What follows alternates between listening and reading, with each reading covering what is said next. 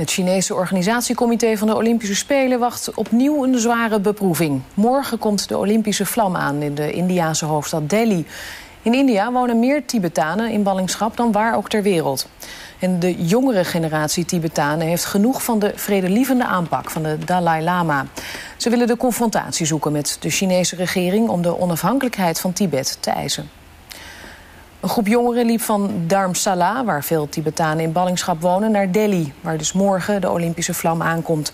Vanaf Delhi willen ze door via een geheime route naar de Tibetaanse hoofdstad Lhasa. Correspondent Wilma van der Maten liep een stuk met de groep mee.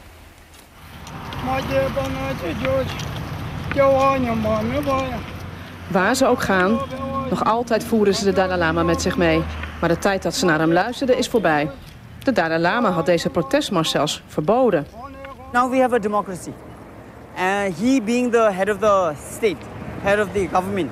Therefore, he also has to uh, listen to the consensus of the people, the people's opinion. De gezaghebbende jongerenleider Tenzin Tsundu en zijn aanhangers zijn op weg naar Tibet.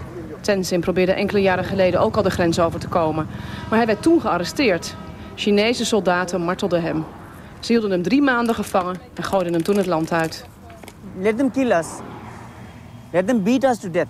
Uh, most of the Tibet, younger generation Tibetans, they um, uh, believe in an independent Tibet.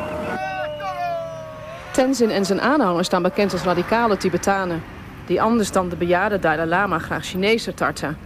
En toen de Chinese president ooit op staatsbezoek in India was... plantte Tenzin de Tibetaanse vlag boven op het dak van zijn hotel. En daarom is Tenzin voor de meeste jonge Tibetanen een held. De mars maakte even een tussenstop in Delhi... waar de Tibetaanse gemeenschap vooraf tegen de komst van de Olympische vlag demonstreert.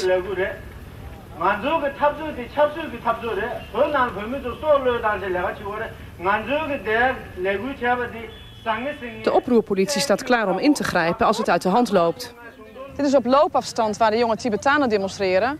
Want hier moet straks de Olympische fakkel doorheen. En de politie is al begonnen om de straat hermetisch af te sluiten. De stad Delhi, het centrum, verandert straks in een vesting. En dat allemaal vanwege die opstandige Tibetanen.